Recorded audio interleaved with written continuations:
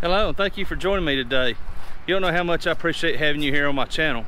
Uh, today we're going to be talking about how I start seeds uh, for my homestead. Uh, a lot of people does it different, but I'm just going to show you how you can go to Walmart, get a simple setup, and grow it. In a later video, I'm even going to show you how to do a real inexpensive grow light system like I use, and I have a pretty high success rate. Uh, let me show you what we're going to what we're going to use. So I like to just use this Jiffy Seed Starting Greenhouse Kit. And now normally I buy the one that has the 72 pellets and you can see uh, what I usually have go on right here. But uh, I've got about all the plants that I need. I just got a few other things I want to plant. So I'm going to take this and I'm going to turn these seeds into plants that look like that to where we can get them in the get them in my greenhouse and start growing them. Well, not only do I use the greenhouse, I also have a hay bale system and uh, garden beds. So let's get started. All right, let's get going with our our little greenhouse seed starter kit. We'll just take the packaging off. Uh, this stuff right here, you can just take this right here and throw it out of the way. Uh, it comes with some little labels that you can label your plants with. Uh, but the these little peat moss pellets, they they seem to do real well for me as far as starting um, my seeds out. So what you do is you just buy this kit and we're just going to get us some water this water right here is it's not purified water but it doesn't have any chlorine in it. If you let your water set for uh, two or three days the chlorine will will just I won't say evaporates but it just gets where it doesn't work anymore. Um, so I'm just gonna take this water and I'm just gonna coat it real real deep with water. Not real deep but enough that it they'll start floating. That's all right though. We'll get it. We'll get them in position. You'll notice as time goes by, the the white coating on these will start getting darker and darker and darker. And as it starts doing that, we'll we'll know they're starting to absorb the water. But you can't just put all your water in there at once. You just want to add a little bit and let them start swelling up and then we'll be able to look at it in a minute. We'll be able to tell when it's ready to start planting.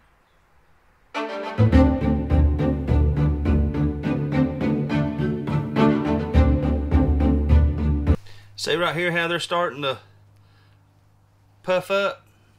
That's what we're looking for. So they'll start bubbling and start absorbing the water. So they're doing what they're supposed to be doing right now. We'll Let's let them keep running for a minute.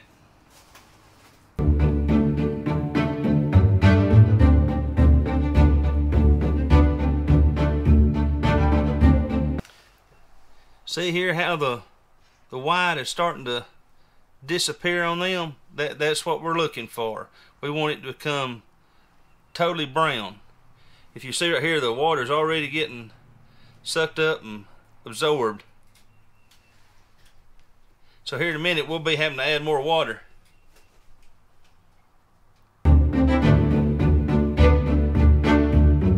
Well, it looks like we just about used up all of our water. So I'm just going to take and just add some more. Try not to do like I did and just run it over there because it washes your dirt out. We'll try to keep it between the the pellets. And if you do pour too much water, that's okay. We'll just pour out what we don't use.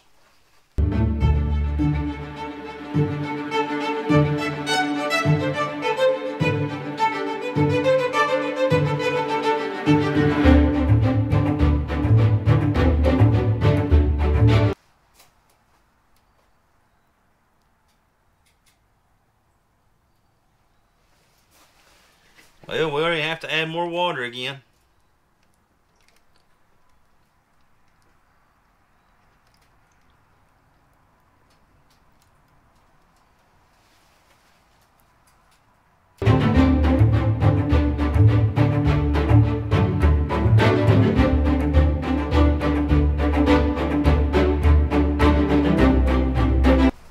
Time to add even more water. This time I'm gonna kind of start trickling over the top of them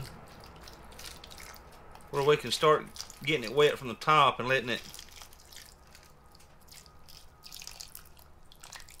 don't want to pour it real hard though we just want to get enough that the top of it can get wet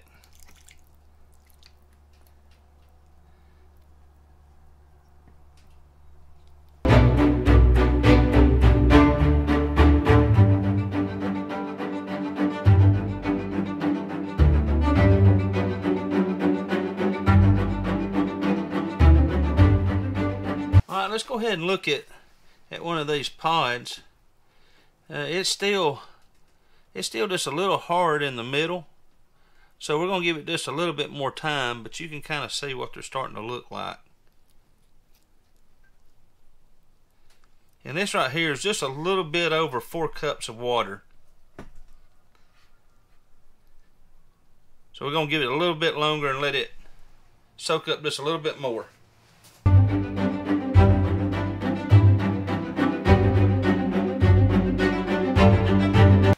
Let's check out another one.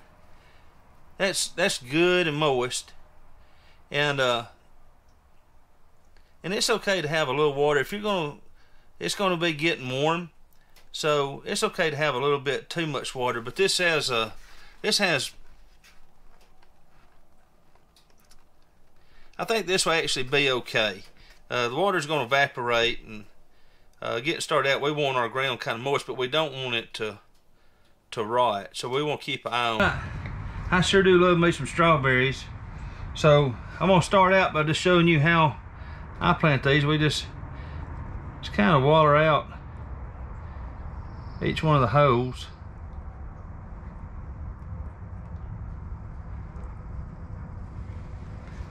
And then what I like to do is I like to put about three seeds in each each pod that gives me a pretty good chance of having these seeds to come up. So one, two, three. One, two, three. One, two, three. One, two, three. One, two, three. All right, then what I'll do is I'll just take me a toothpick and kind of make sure they're down in the hole.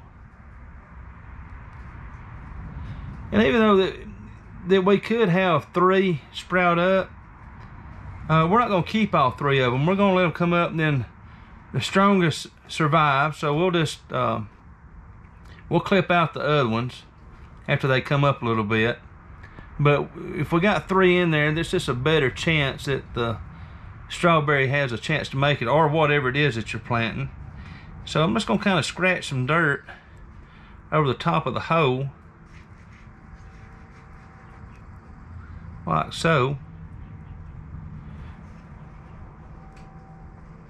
Just to make sure it's got some good coverage. Our seed's got to be fully covered. And then I'm to take my finger and I'm just going to kind of just bounce on it just a little bit. Just to get it good and packed. I'm, I'm not shoving it down there and getting it real hard, but just kind of just enough just to pack it around the seed just a little bit. And that's it. Now, I'll go ahead and I'll finish uh, planting these other ones the same way. I'm to do some strawberries and some Brussels sprouts and some zucchini and squash and some watermelon and some cantaloupe. So let me go ahead and get them uh, planted, then we'll move on from there and I'll show you what to do next. Planted, I'm just to take the cover and I'm just going to cover it up like so. Um, and I'm only going to leave it like this for a couple days. Uh, just let everything warm up and get started. Then after a couple days, I'm going to kind of back the tray off just a little bit like, like that. That way air can move in and out until I start seeing everything start to sprout. And then once that does, I'm just going to take it off. Uh, now with mine, I don't just leave it outside. I, am telling you how to do it the way that I do it. And I do it under grow lights. But I have a very cheap grow light system that's very efficient and works great. If you'll watch my next video, I'm going to show you how I do my grow lights and like I said I have very good success rate with it like this and it's very inexpensive. So join me then. Thank you and have a great day.